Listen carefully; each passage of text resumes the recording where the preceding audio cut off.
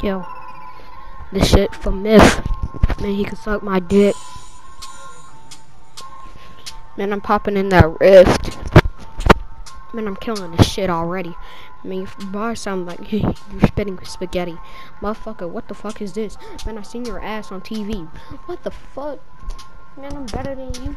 You're trash. You fell from fall damage. In a tournament. That's actually ass cheeks. The fuck? Man, you could have won some uh, cash.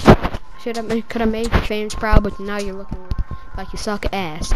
And you're sucking Poki, and you have a. And she said you have a worse hairline than fucking Daquana, and I was tapping her ass last night, and I know you're fucking mad.